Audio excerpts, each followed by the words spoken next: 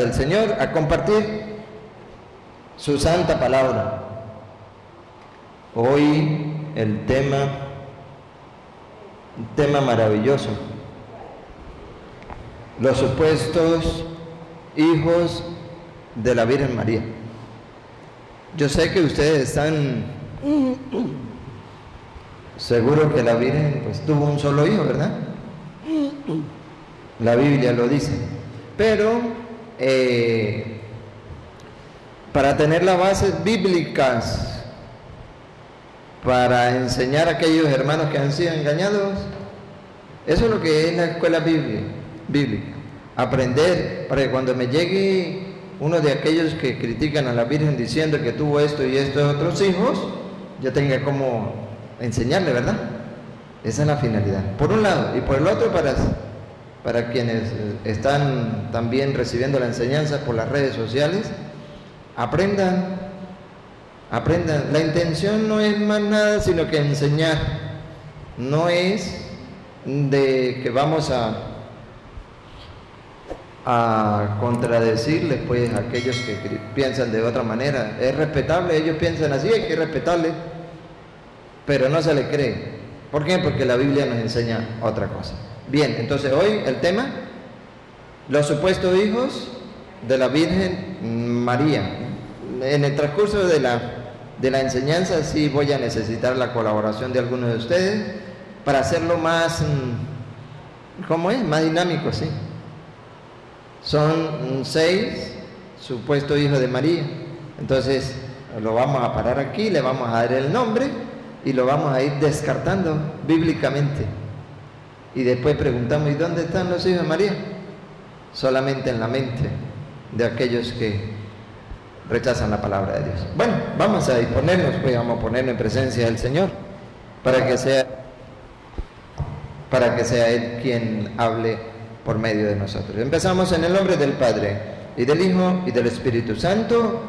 Amén. Digan conmigo, ven Espíritu Santo, lléname plenamente de tu luz de tu paz, de tu amor, de tu alegría, de tu paciencia, de tu humildad. Dame sabiduría y entendimiento, los dones y frutos de tu Santo Espíritu para leer, comprender, predicar y obedecer tu santa palabra. A ti, Divino Espíritu, que eres Dios, y siempre me acompaña.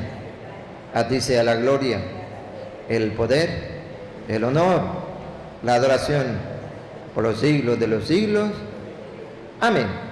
Empezamos esta enseñanza en el nombre del Padre y del Hijo y del Espíritu Santo. Amén. Bien, se pueden sentar y aprovecho la oportunidad de saludar a quienes nos siguen a través de las redes sociales. Que el Señor les bendiga, que el Señor les acompañe, preparados ustedes también.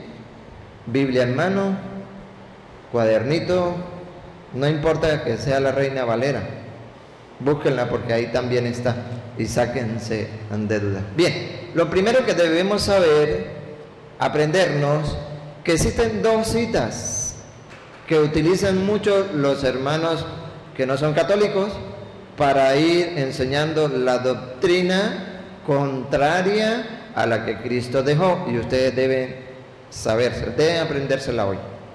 Vamos a empezar por primero por San Mateo, capítulo 13, versículo 55. Mateo 13, 55. Vamos a oír de que aquí, aquí es que aquí es donde aparece. ¿Por qué ustedes los católicos no creen en la palabra de Dios? Si aquí aparecen los hijos de María. Vamos a, estudiarla. ¿Qué dice? Y en la Biblia Reina Valera también está sobre los hijos de María que ellos van enseñando. Escuchemos. ¿No es este el hijo del carpintero? Pero si su madre es María y sus hermanos son Santiago y José y Simón y Judas. Santiago, José, Simón, Judas. ¿Vio? ¿Vio? Ahora, Téngamelo ahí. Venga por allá, San Marcos, capítulo 6, versículo 3. Recuerda que le dije que eran dos citas que ellos utilizan. Cuando no utilizan Mateo, utilizan San Marcos. Vamos a oír San Marcos 6, 3. 3, 1, 2, 3. Escuchemos como dice San Marcos capítulo 6, versículo 3. Pero no es más que el carpintero, el hijo de María. Es un hermano de Santiago, de José, de Judas y Simón. Santiago, José, Judas y Simón. La misma. ¿Vio? Ay, sí, mira, y tiene razón. Tiene razón, tiene cuatro hermanos y mira, y nosotros no sabíamos eso. Pues vamos a estudiar, vamos a estudiar, es la misma, Mateo y Marco, vamos a estudiar con Mateo, que usted está aquí para ir. Vamos a leerlo y vamos a analizarlo. Recuerde que en nuestro lenguaje hay unos signos, ¿verdad que sí? La coma, el punto, punto y coma, y cada uno de ellos tiene su, su función. ¿Estamos claros? Para que sepan de que no podemos apartar o, desconocer o eliminar una coma o una letra. No la podemos hacer. Vamos a estudiarla, vamos a analizarla. Escuchemos otra vez. ¿No es este el hijo del carpintero? Primero, ¿no es este el hijo del carpintero? ¿De quién estaban hablando? ¿De qué habla el pasaje de las escrituras? ¿De José el carpintero? No. ¿De quién habla? ¿De Jesús? ¿No es este el hijo del carpintero? Bien lo otro. Pero si su madre es María. Pero si su madre es María, dígame, ¿qué hay ahí en María? ¿En qué termina? Coma. ¿Termina en una? Coma. Esto es lo que los hermanos que no son católicos no ven. Entonces, eliminan la coma y le dan continuidad a la frase. Hay un pare. Está hablando, el pasaje está hablando de la Virgen, eh, de la Virgen María. ¿De quién habla? De Jesús. De Jesús. ¿No es este el hijo del carpintero? ¿No es su madre María? Y viene otra cosa. ¿Y sus hermanos? ¿Y qué? ¿Y sus hermanos? Dice los hijos...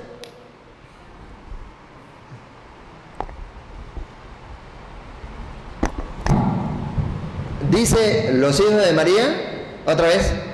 Y sus hermanos. Y sus hermanos. Ahí no dice y los hijos de María. Mala interpretación. Primero, no es este el hijo del carpintero. Segundo, no es su mamá la Virgen, no es su mamá María. Y tercero, no son sus hermanos. Ahí no dice, y tercero, no son los hijos de María. Mala interpretación, igualito en Marcos 6.3. Pero, pero, la finalidad, la enseñanza del día de hoy es que para los hermanos que no son católicos y tienen esa duda, nosotros se la vamos a aclarar. Vamos, vamos a suponer, vamos a suponer que, que esos sean los hijos de María, pues. Una suposición, ¿no? ¿No recuerda? El, de, la suposición. Ustedes no estaban cuando el de la suposición. El, capitán que le dice al soldado, soldado, yo quiero probar hoy la actitud suya. Supongamos que usted tiene al frente su enemigo, ¿qué haría usted? Le dice el soldado, pues el capitán lo, lo eliminaría. Fenomenal. Soldado, bien. ¿Y qué haría usted si, si, si su enemigo está en la espalda? Gira, no, yo no puedo girar porque tengo aquí, si no, yo ya estaría eliminado. Pero el soldado, muy bien, soldado, y si está a la derecha, y si está a la izquierda, uy, soldado. Y si su enemigo viene por el aire y usted no lo ve, me tira el hueco. Digo, soldado, ¿cuál hueco? Bueno, supongamos que hay un hueco, pues. ¿eh? Esa es su posición. Vamos a suponer, pues, que que, esos son los hijos de María. Nosotros con la Biblia, ¿verdad? Con la Biblia le vamos a mostrar capítulos y versículos y le vamos a dar a conocer cuál es la mamá del uno, cuál es el papá y qué son. ¿Para qué? Para que se despeje esa duda de Satanás sembrada por los instrumentos suyos. de que María tuvo más hijos. Pero antes de nombrarlos, hay una profecía. Isaías, siente por aquí, Isaías capítulo 7, venga Rosita. Isaías capítulo 7, versículo 14. Primero, primera cita para que nosotros estemos firmes de que hay uno solo, un solo hijo, no ni dos, ni tres, ni cuatro. Isaías capítulo 7, versículo 14, el profeta Isaías escribe por ahí 400, 500 años antes de Cristo y profetiza. Vamos a ver qué profetiza Isaías. Y luego vamos a ver si se cumplió o no se cumplió esa profecía. El Señor, pues, le dará esta señal. ¿Quién da la señal? El Señor. Es decir, que debemos creerlo, es Él, es Él el que nos da la señal. ¿Cuál? La joven está embarazada y da a luz un varón. Y da a luz un varón. ¿Cuántos? Uno. Uno. Da a luz un varón. A quien le pone el nombre de Emmanuel, Dios con nosotros. Eso se profetizó. Estaba en profecía. Y si se cumplió, que era un solo varón, ¿quién le iluminó, quién le profetizó a los que no son católicos diciendo que María tuvo más? ¿Quién sería? Recuerda que hay muchos espíritus. El Espíritu Santo es verdadero, el de Dios, y los espíritus engañadores. Hay varios. Vamos a ver. ¿Qué nos enseña la Escritura? ¿Se cumplió o no se cumplió? Mateo, capítulo 1, versículo 22. Mateo capítulo 1, versículo 22. Busquen, amados hermanos, allá en casita. Si tienen la Reina Valera, búsquela también, ahí aparece. No pueden decir de que no está. No se hagan sordos a la voz del Señor. No les cierres el corazón. Vamos a ver si se, si se cumplió. Mateo 1, 22. Todo esto sucedió para que se cumpliera lo que había dicho el Señor por boca del profeta. ¿Escucharon? Todo esto se... ¿Se qué? Todo esto eh, sucedió para que se cumpliera lo que había dicho el Señor por boca del profeta. Todo eso sucedió para que se cumpliera. Vamos a ver qué. La Virgen concebirá y dará a luz un hijo ¿Recuerdan Isaías? La Virgen concebirá y dará a luz uno, uno, un hijo. Dale. Y le pondrá por nombre Emanuel, que significa Dios con nosotros. Emanuel, que significa Dios con nosotros. ¿Se cumplió o no se cumplió? Sí. Entonces, ¿Por qué el invento de que la Virgen tuvo más hijos? Calumnia, no más, calumnia. Nosotros tenemos que tener eh, la verdad por delante y llevarla y no callarla, darla a conocer. Decirle, ok, ok, si ustedes dicen que la Virgen tuvo más hijos, o María, ¿por qué no le dicen que la Virgen? Porque María fue una mujer cualquiera. Entonces, ¿por qué se cumplió la profecía? Dígame, dígame, ¿por qué? Porque así lo quiso Dios que fuera uno solo. Ahora bien, estamos más que claros, no puede haber duda. Vamos a, ¿le parece? Vamos a ir descartando eh, los hijos, los supuestos hijos que nombra. Nombran a, ¿ustedes recuerdan? Santiago, José, Judas, Simón. ¿Ok? En la Reina Valera aparece Jacob, ¿Ok? Como eh, Santiago, estaba Santiago el mayor, Santiago el menor, entonces vamos a incluirlo para que no haya duda. Ajá, no, pero ese era Santiago mayor y el menor, también vamos a incluir el menor, con ese serían cinco. Y ustedes no estaban cuando María estaba en la cruz, Cuando el Señor murió, ¿no estaban ustedes? ¿Recuerda que le dejó un hijo? ¿Cuál? Juan. Hasta ese entonces María se enteraba que tenía otro hijo que llamaba Juan. Es un invento de, de- aquellos que no quieren creer la palabra de Dios. Pero si esos son los hijos de María, ¿cómo van a, a querer refutar mm, Primera de Corintios 15, 5? ¿De qué manera lo podrían hacer? Vamos a estudiar qué dice Primera de Corintios capítulo 15, versículo 5. Escuchemos. Que se apareció a Pedro y luego a los doce. Se apareció Jesús resucitado, se apareció a Pedro, luego a los doce. ¿A quién más? Después se dejó ver por más de 500 hermanos juntos. ¡Oh! 500 hermanos juntos. O sea, no es solamente los cuatro que acabamos de oír, sino que Jesús tenía cuántos más. Bárbara, pobrecita la Virgen María, ¿no? error, error, error. Hoy ustedes van a saber por qué eran hermanos o por qué somos hermanos. San Juan capítulo 20, versículo 17, nos viene a enseñar por qué somos hermanos de nuestro Señor Jesucristo.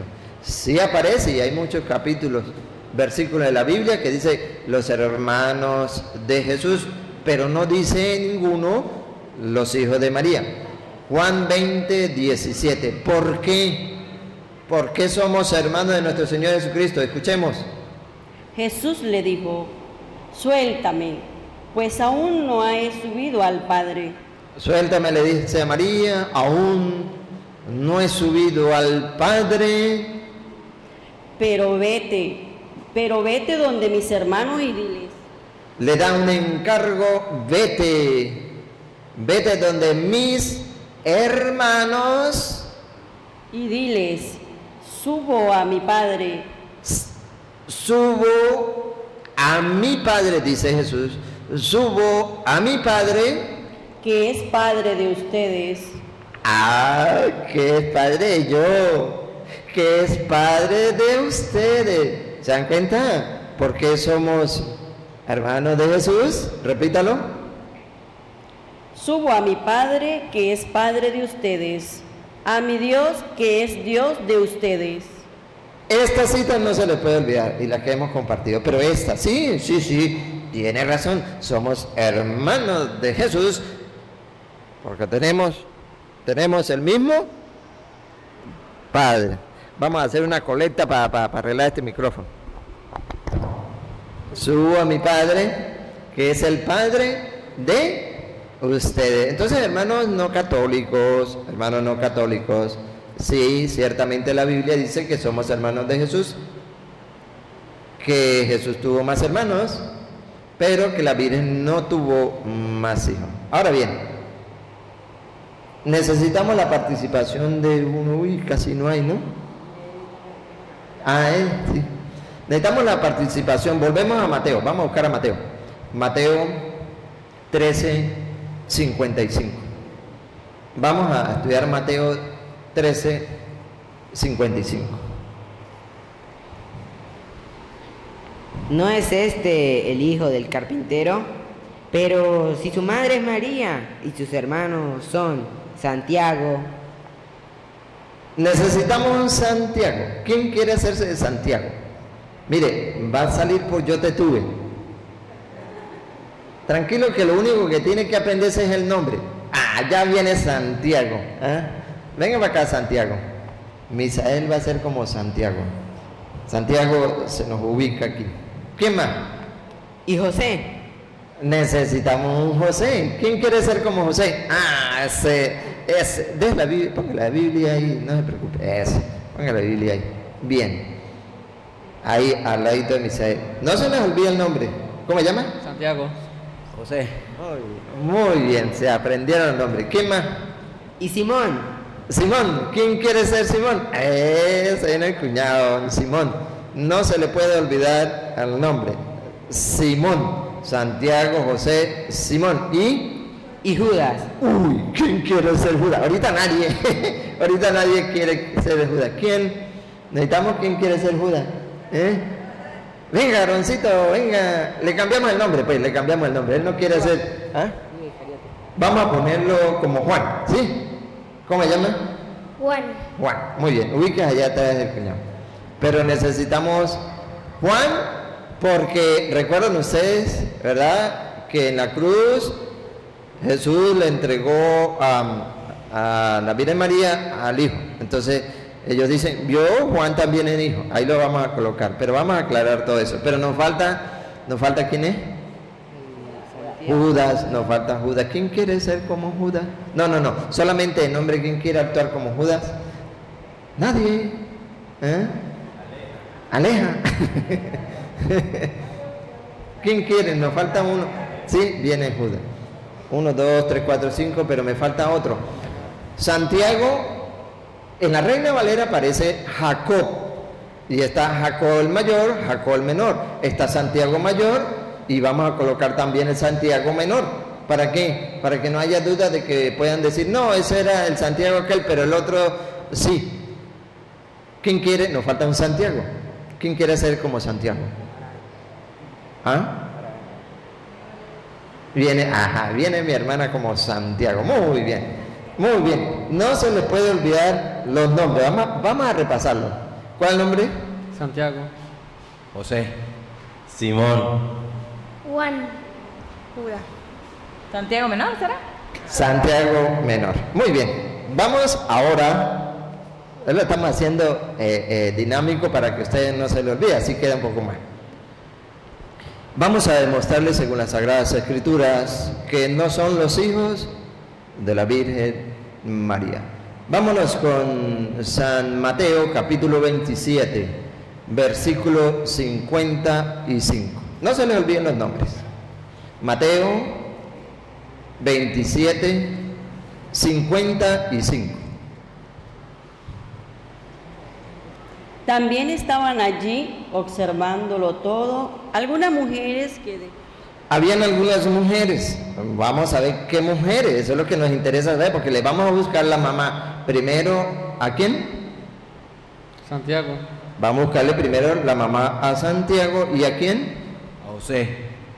Y a José. Prestos, prestos allá en casa y ustedes también. Vamos a ver si no lo dice la Biblia. Estaban algunas mujeres que desde Galilea habían seguido a Jesús para servirlo. Entre ellas estaban María, Ya va, Rosita. No nos vamos todavía. Entre ellas estaba quién? María Magdalena, Ya va, Rosita. María, Magdalena, una. María, madre de Santiago y de José, Otra vez, otra vez. Ma- María, madre de Santiago ¿Cómo llamaste? Santiago. y de José. ¿Cómo llamaste? José. Aquí está Santiago y aquí está José. ¿Y la Biblia me dice que estaba quién? y la madre de los hijos. Otra vez, otra vez, no, otra vez. Entre ellas estaban María Magdalena, María, madre de Santiago y de José, ¿Pero cómo se llamaba? María, María. Pues, ¿cómo se llama la mamá de Jesús? María. Claro, ella es. No, no, no, no, no. Porque le vamos a buscar en la misma Biblia donde están las dos juntas. San Juan, capítulo 19, versículo 25, para que ustedes se den cuenta. Ya le encontramos la mamá Santiago. Ya le, le encontramos la mamá José. Pero para aclarar, para aclarar, para aclarar un más, ah, el diablo está enojado. El diablo está enojado. Para aclarar uno más, aún más, que no es la Virgen María, la vamos a encontrar las dos juntas. San Juan, capítulo 19, ¿qué le dije? Versículo. Cerca de la cruz de Jesús estaba su madre, ¿Cómo se llama la mamá de Jesús? María. Estaba su madre con María, con María. la hermana de su madre. ¿Cómo lo ve, Cholito? la hermana de su madre. Ahí están las dos. Entonces, Santiaguito, usted ya tiene mamá, no es la Virgen, váyase para allá. José, usted tiene mamá, no es la Virgen María, váyase para allá, muy agradecido. Venga, arrímense más para acá. Ya le hemos quitado dos calumnias, ¿eh? Dos calumnias de los hijos, supuestos hijos de María. Venga, ¿dónde íbamos con, con Santiago? ¿Quién viene? Después de Santiago, José, ¿quién viene? Mateo 13, 55. Mateo 13, 55. Vamos a retomar y me preparan Marcos 3, 16. Marcos 3, 16. Mateo 13, 55. Ya quitamos dos. ¿Quién más viene? Eh, y sus hermanos son Santiago y José y Simón. Y Judas. Simón y Judas. Simón y Judas. Venga eh, Marcos. No lo olvide. Simón y Judas. 3.16. Estos son los doce. Simón, a quien puso por nombre Pedro, Santiago y su hermano Juan, hijos de Zebedeo, a quienes puso el sobrenombre de Boanerges, es decir, hijos del trueno. Andrés, Felipe, Bartolomé, Mateo, Tomás, Santiago, el hijo de Alfeo, Tadeo, Simón de Cananeo. Claro, sí, pero tiene mucho afán. Me corta la inspiración. ¿El último? Simón, ¿Cómo se llama? Simón. Aquí encontramos a Simón. La, la escritura nos dice su mamá. Pero, ¿cómo le decían a Jesús? ¿Jesús Nazareno o Jesús el Galileo? Simón, si es hijo de María, tiene que ser Simón qué? Nazareno o Simón qué? Galileo. Vamos a ver qué dice la Biblia. Simón el cananeo, Ah, ni era nazareno, ni era galileo, era cananeo. de Canaán. Es decir, no eres hijo de la Virgen María. Muchas gracias. Se sienta. Ahora, me queda Judas, de los cuatro. Judas. Judas escribe una carta. Está Judas, capítulo 1, versículo 1. Judas se va a presentar y va a llegar a decir, aquí estoy yo. Yo soy hijo de la Virgen María, soy hermano de eh, Jesús. Vamos a ver qué nos dice la carta de Judas, la presentación de Judas, para ver si ese hermano es hijo de la Virgen María. Escuchemos. Judas, servidor de Jesucristo. Judas, Servidor de Jesucristo. primero, servidor, servidor de Jesucristo y segundo, Y hermano de Santiago. y hermano de Santiago. Chao, lo lamento, pero usted tampoco es hija de la Virgen María como enseñan los hermanos que no son católicos. ¿Me queda por aquí quién? Juan, Juan, Mateo, otra, eh, Marco, perdón, Marcos 3:16. Mate- eh, Juan Santiago. y Santiago el menor. Ven para acá. Juan y Santiago el menor. Ven para acá. Marcos 3:16. Santiago menor y Juan. Eh, no lo olvides, Santiago menor y Juan. Estos son los doce. Simón, a quien puso por nombre Pedro. Santiago y su hermano Juan. ¿Cómo se llama? Juan, ¿Y cómo se llama? Santiago. Repítalo. Estos son los doce. Estos son los doce. Simón, a quien puso por nombre Pedro. Santiago y su hermano Juan. Hijos de Zebedeo. Hijo de Zebedeo. Hijo de Zebedeo. ¿Eran hijos de la Virgen María? ¿Cómo dice en Mateo, en Mateo 27, 56? Vamos a decir, aquí aparece la, la, la, la... ah, ¿Ya tiene el papá? ¿Ya encontraron el papá? ¿Sí? ¿Cómo llama su papá? Zebedeo, Muy bien, Zebedeo, según la Biblia. ¿Cómo dice Mateo 27, 50 27, 56? Entre ellas estaban María Magdalena, María, madre de Santiago y de José, y la madre de los hijos de Zebedeo. Encontramos la mamá, pero no dice, no dice cómo se llama. ¿Cómo? Repítalo. Eh, María Magdalena, María, madre de Santiago y de José, y la madre de los hijos de Zebedeo. Su papá, Zebedeo. Su mamá, aquí está, pero no dice cuál es, cuál es el nombre. Puede ser Isabel o Isabela, no sé cuál será. O Mayra, Mayra, ¿no? Puede ser. Pero no es la Virgen María. Así que muchas gracias, Dios le pague. Ahora, ¿dónde están los hijos de la Virgen María? En la mente de los hermanos que no son católicos, que han sido engañados, tristemente, ha sido engañado. Apocalipsis capítulo 12, versículo 17, enseña las Sagradas Escrituras cuáles son los hijos de María. Lo van a oír ustedes. Ustedes, los que nos siguen, siguen en las redes sociales, también lo van a oír, se lo van a aprender. ¿Cuáles son los hijos de la Virgen? Escuchemos. Entonces el dragón se enfureció contra la mujer y se fue a hacer la guerra al resto de sus hijos. Se fue a hacer la guerra al resto de sus hijos. Aquí no van a dar los nombres del resto de sus hijos, escuchémoslo.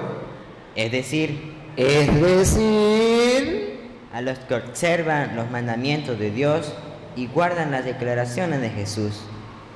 a los que escuchan la palabra del Señor, la guardan y la ponen en práctica. Esos son los hijos de la Virgen María.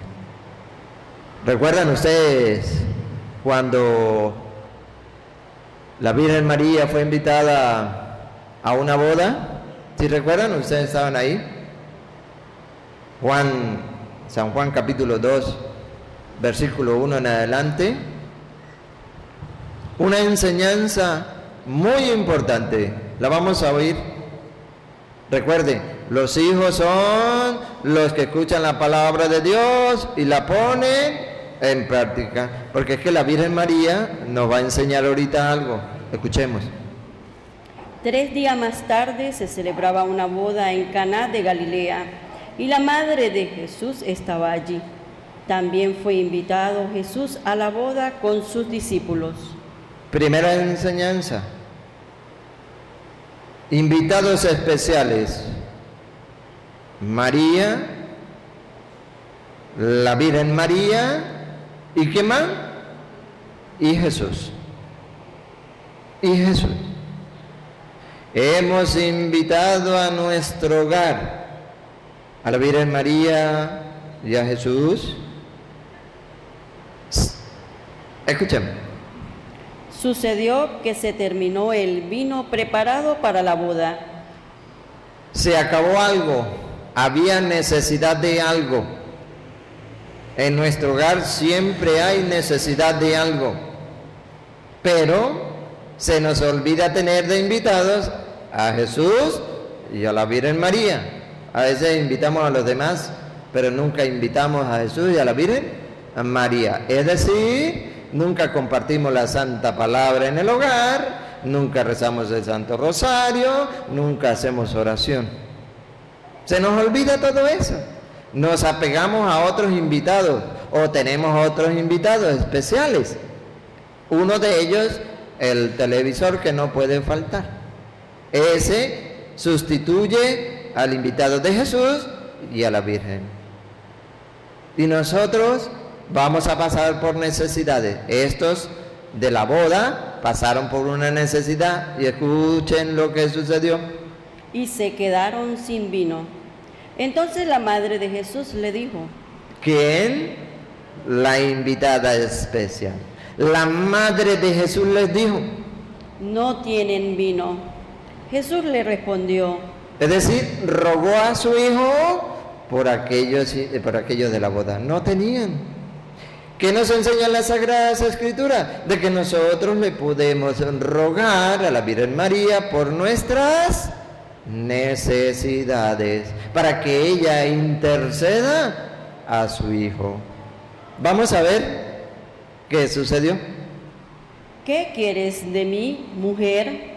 Aún no ha llegado mi hora. Aguántese, espérese. Llegará el momento, yo sé que tengo que hacerlo, pero espérese. Enseñanza. Pero su madre dijo a los sirvientes, Recuerda Apocalipsis eh, qui- 12, 17. ¿Qué le dijo? hagan lo que él les diga. Háganlo. Los hijos de María son los que cumplen el mandato de la Virgen que nos dice, hagan lo que Él les diga. ¿Y qué hace lo que, él, que lo que el Señor nos diga? Cumplir su palabra. Cumplir su palabra.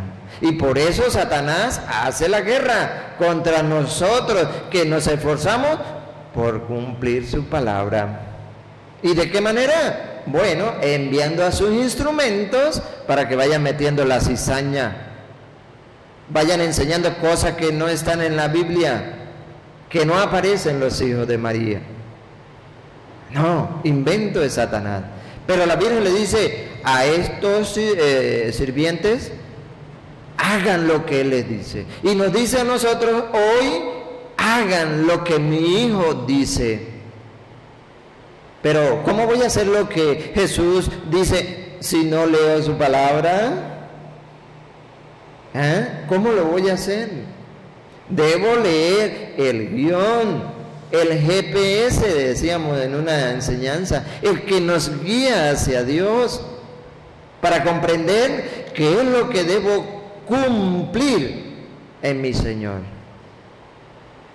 Estamos estos días compartiendo San Juan 15 del 1 en adelante.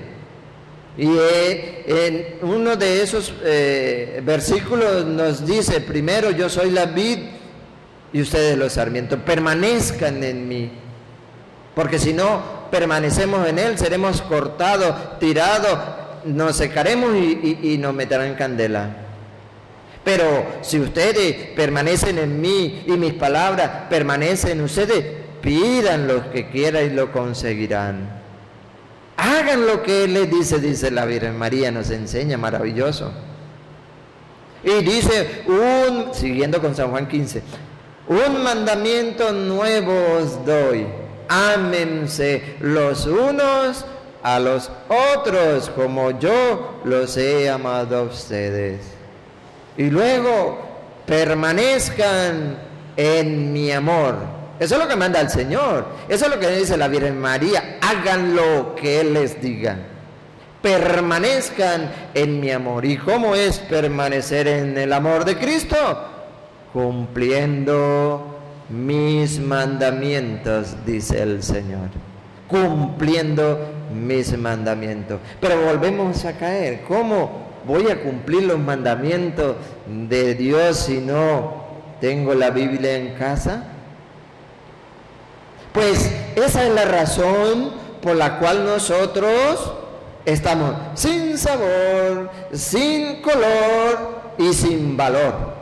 Es decir, no tenemos la bendición de Dios, porque eso fue lo que sucedió en la boda.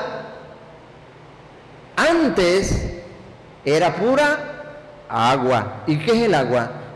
No tiene sabor, no tiene color y no tiene valor. Bueno, aquí sí la venden a cuatro mil pesos el jarrón, ¿no?